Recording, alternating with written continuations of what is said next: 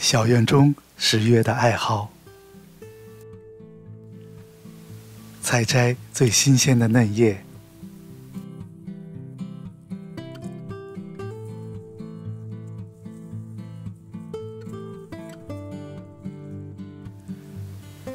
用清水洗净，水开后用大火煮五分钟。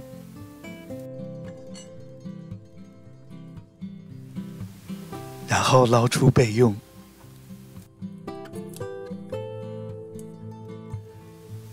艾叶水中加入红枣和枸杞，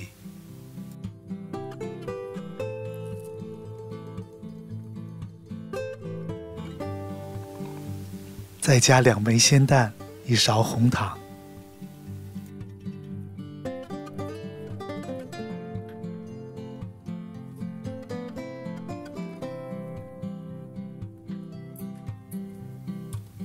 加入煮好的艾叶，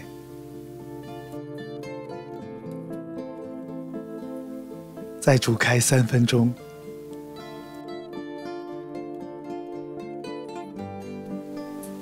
然后盛出温食。